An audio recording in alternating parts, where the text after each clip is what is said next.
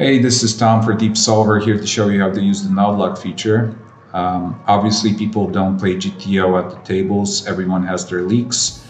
And the node lock feature is a really cool tool to uh, use to figure out what kind of exploits you want to use against your competition, who all have their own tendencies and styles. So let's go to custom solution. Uh, let's go with a six, seven, five board, slightly deeper stacks. Let's click the preflop range library and let's go with a cutoff versus big blind spot. Let's apply the ranges. Uh, obviously, we can use uh, all kinds of sizings here, but let's go with the ones provided here.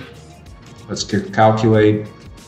And something that you will find often is uh, people automatically checking uh, when they're out of position in, in these uh, spots, uh, but we would like to see what the solver suggests here because often it has different ideas. And in this specific scenario, you can see uh, the GTO strategy being uh, out of position betting over half of his hands. Um, so we would like to find out what happens uh, from cutoff's view when the big blind instead checks more of his hands. So let's go to hand locking. And we could uh, manually uh, click check uh, for a lot of these hands and cut down his uh, um, betting frequency. Or, we, or what we could do is go with the lock all feature and uh, just assign check to the entirety of his hands. Let's go with that. And what we're interested is in uh, how cutoff uh, should approach these two styles. Um, which we will see in a bit.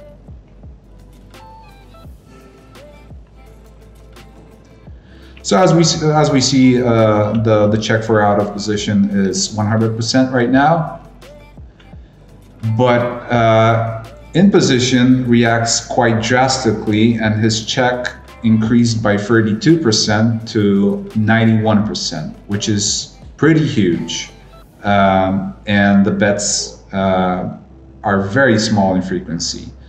We can use the compare GTO frequency if we would like to see uh, both of the matrices side by side. And here on the left side, we see the GTO one, uh, meaning the one versus uh, um, out of position who bets quite a bit.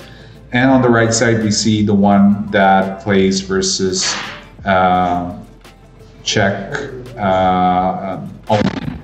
So what you can see is uh, on the left side, there's quite a bit of betting with hands that contain a nine or an eight.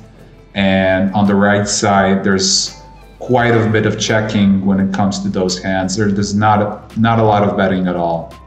Uh, so this is a really cool feature if you like to figure out um, how to play versus actual uh, human beings um, and not computers and hopefully it will help you exploit your competition even better.